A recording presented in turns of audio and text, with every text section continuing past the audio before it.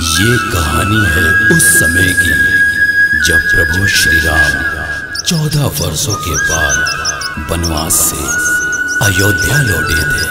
तब रावण वध के पापों से मुक्त होने के लिए मुग्धल ऋषि के कहने पर सर्वप्रथम बिहार में सीता माता और प्रभु श्री राम मुंगेर के घाट पर छठ का व्रत संपन्न किए थे।